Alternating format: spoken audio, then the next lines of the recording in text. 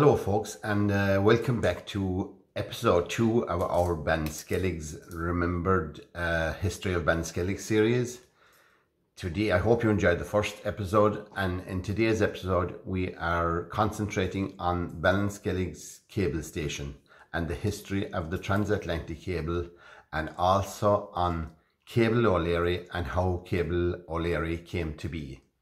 Um, Michal O'Line will talk you talk you through the uh, history of the Ballinskellig's cable station, and that will be followed by Anne Coffey doing reading uh, her father's version of the Cable O'Leary story.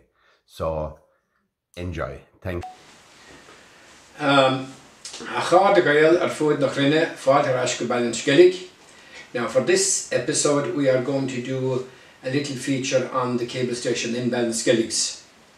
Now towards the end of the 19th century uh, South Kerry became the hub of transatlantic communication and we had three independent cable stations here in South Kerry in the Iveragh Peninsula, one in Valentia, one here in Ballinskelligs and one in uh, Waterville. Now prior to the development of transatlantic the, the transatlantic cable when um, communication was needed between Europe and America, between, Amer uh, between um, United Kingdom and America, it had to be done by ship. And that was a slow process. Then um, at the start of the 19th century, 1820s and 30s, you had um, certain developments which pushed on the need for a quicker means of communication. And um, that was mainly the Industrial Revolution and the development of financial markets in London. So, um, and at the same time, you had a lot of developments with um, telegraphy and electricity. Now, um, it was reasonably, it, at that stage, it was um, uh, telecommunications over land was developed, but it was a more difficult thing to do it underwater. But with the, the invention of a substance or a product known as um, gutta percha, uh, it became possible to put uh, cables, uh, telecommunication cables underwater. Now gutta percha was um, a form of insulation that could be put around the cable so that the cable could be placed underwater. And that was uh, successfully tried and tested in um, 1851 between um, Calais and Dover. But taking a cable across the Atlantic was a different kettle of fish and much more complicated. And after a few failed efforts, um, it was uh, a cable was successfully laid uh, between Heart's Content and Valentia Island in the year um, 1866. So that proved that the laying of a cable across the Atlantic could be done and consequently other companies um, got into the, uh, into the role of um, uh, laying cables across the Atlantic. One of those companies was known as by the initials DUST, D-U-S-T, um, Direct United States um, Telegraph. And that company decided to lay a cable between um, Torbay in Halifax, Nova Scotia and Ballinskelligs here. And that process took place in 1873 and the cable station was opened in 1874. Now the cable itself was manufactured by the German company uh, Siemens and it was laid across the Atlantic by a liner, a fisher, um, a big ship known as the Faraday. Cable the cable was laid and it was run then by Dust for a number of years. And then uh, that company, Direct United States Telegraph, it amalgamated with the uh, Valentia company, Anglo-American, and it formed um, a cartel uh, known as uh, PQ cartel. Now, the, the, the advantage of a cartel was that they were able to set their prices and income and then that uh, position continued until 1895. Then in 1911 the Western Union took over the running of Ballinskelligs cable station. That had been, um, uh, and it, it, had also been um, running the Villeneuve cable station. So the, the Villeneuve and Ballinskelligs cable station, they were connected by land and by sea. And that position uh, continued until 1920. Now, as we all know from uh, at the moment, this, the, the War of Independence uh, was going on from eight, 1918 uh, um, until 1921, 22, and the British government needed a secure post office for, um, for, for security reasons. So they took over uh, the cable station here in Ballinskelligs and ran it as a post office until um, 1923 and then um, uh, after 1923 the Irish government took over the, the building and um, ran it as a, an Irish college. Now as I said there earlier the ship that laid the cable was known as the Faraday. Now that was a big liner and it could not enter into um, uh, Bay. Uh, another process was engaged in to bring the, the cable ashore. Now, tá cúntas anna yes ar chunas mar a hánig i ddír ó bhíhall i Cuirvig agus tá sé scríte ina leirige.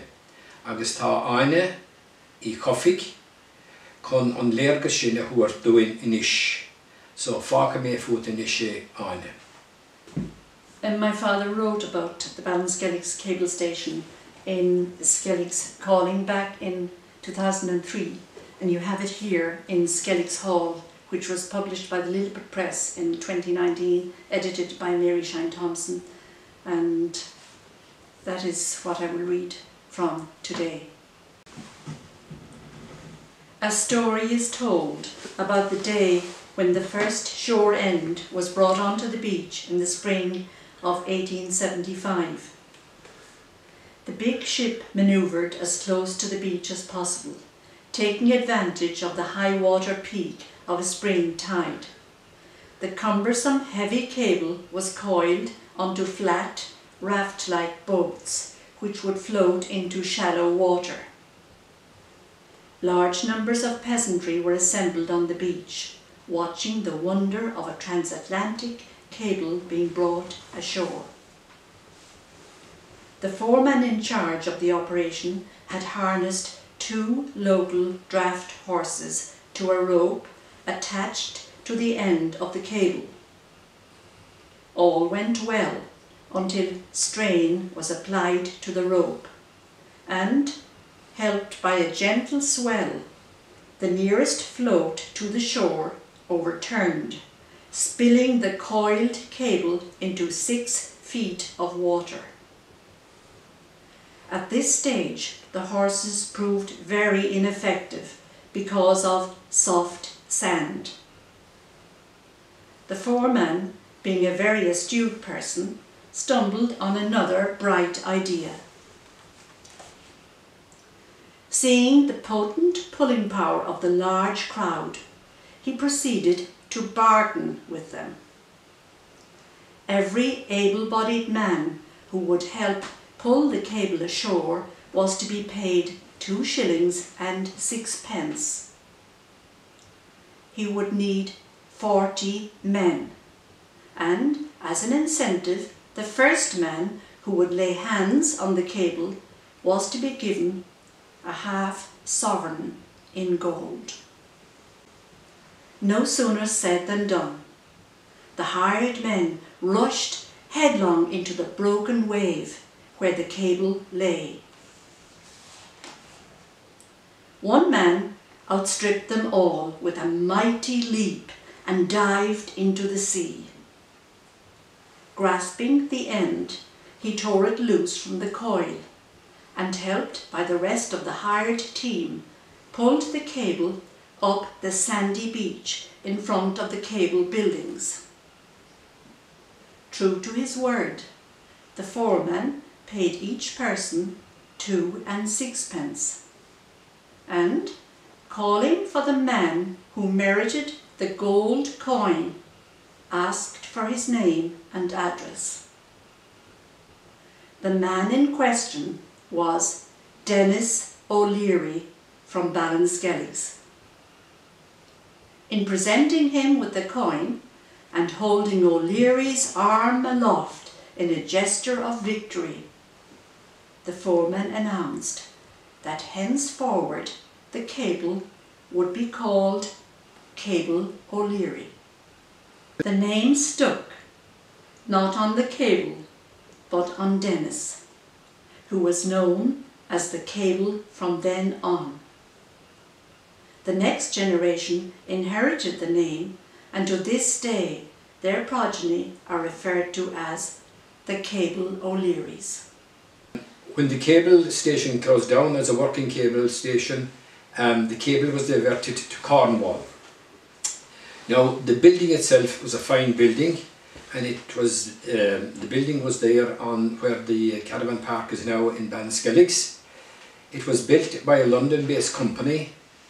Uh, the physical structure was of mass concrete. On, it was on three or four acres of ground and that ground was walled.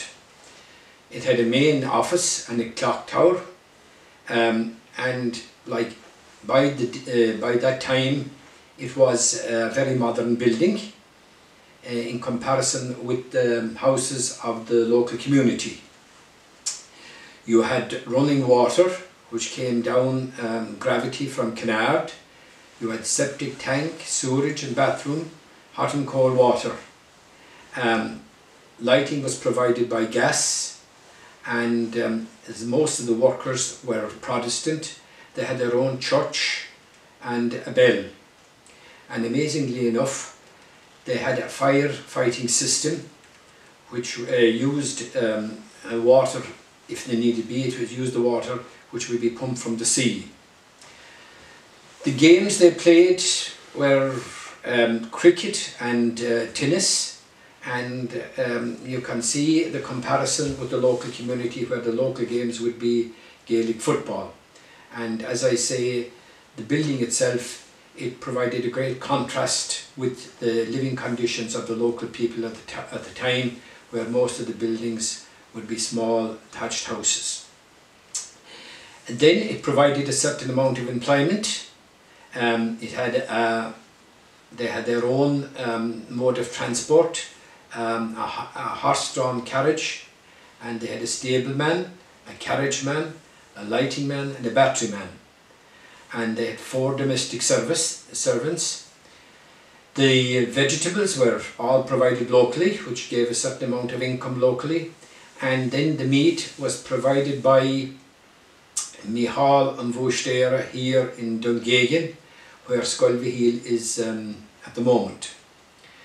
Now, um, as I say, the the bill, the the cable station and the post office finished um, in 1923 and the building then was taken over by the Irish government. And during the 1920s it was run as an Irish college. It was a famous Irish college nationally, well known. Um, it was basically set up to um, train um, uh, teachers. But many other people also attended the college. Um, uh, future politician like Jack Lynch, the Bolins and the Collies. And it is reputed that it's here in Ballinskelligs College that Jack Lynch met his wife Maureen. Now, be Sean O'Connell, Sean O'Connell a bhí mar hanachaí sa chaláiste sin agus bhí sé mar hanachaí ann go dtíobh go bhfuair sé bás sa. So bhí cáil náisiúnta ar an gláiste sin um, choláiste amráte a bheann and the, um, the um, college continued until the late 40s. Now it was uh, the um, building itself was overseen by the Board of Public Works. And the Board of Public Works were not prepared to meet the maintenance and upkeep of the building. And unfortunately and to the regret of the Ballinskelligs community the Board of Works knocked the building in the late 50s which was a shame when you see the fine buildings that um, remained in Valentia and in Waterville, the fine cable station buildings. The only building that was left standing was that part which became the guard station afterwards and which is now in, um, in private property. Now, uh, the buildings closed down and as I said the building was knocked but this cable station have left a legacy here in Ballinskelligs and through the cable station a lot um, a number of people came in to work on the cable stations and settled here. Two of the families being uh, the Mains who uh, down through the years um, ran the Sagasonarum Hotel and the post offices here in Ballinskelligs and also the Browns, the Brown family, they came in through the cable station. John Brown, who came from Scotland, he came into the cable station in Waterville and worked as a gas fitter and a plumber. And then his son Joe, he worked as a, tele a telegrapher here in Ballinskelligs and we can see that the Browns are still making a major contribution to uh, the community and society here in Ballinskelligs, providing us with a, a well-stocked shop and a um, post office, and Nicholas and his son providing uh, a plant hire service which is used all over the county. So they are some of the legacy, legacies that the cable station have left us here in Ballinskelligs. So sinne muskiel and atá súlagam go rinseamh tanimás go míle The earliest repair ship involved in cable laying that I can remember was a ship called the Buccaneer. I heard my father say that a pilot from Valentia named Macron would come overland to Ballinskelligs, where a local crew awaited him at the old fishing pier to meet the ship as she rounded into the mouth of Ballinskelligs Bay. My father, being one of the crew, told me how the pilot would sit in the stern and steer them towards the ship, and he would chant a little rhyme in rhythm with each oar stroke. Pull, boys, pull, there's smoke off the bull. Meaning, of course, that he, the pilot, saw the black smoke from her funnels appearing near the Bull Rock. The Great Eastern was the ship that lay the cable through the deepest part of the Atlantic and only came to the mouth of the bay where the shore end leading to Ballinskelligs Beach was connected to the Atlantic through a smaller diameter cable.